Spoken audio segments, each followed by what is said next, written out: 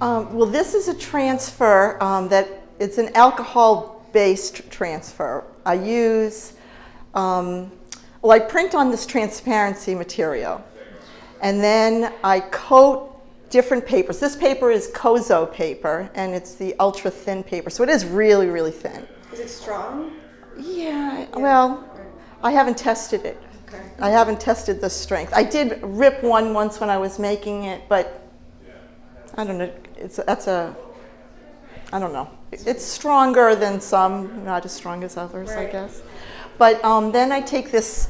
I take um, gel medium and alcohol, and I make a mixture, and I use that to coat the paper, and then I lay the transfer. Um, the transparency material on top of it and I use a brayer and then I turn it upside down and I spray alcohol all over it and use a brayer and then I flip it again and then peel the transfer material off.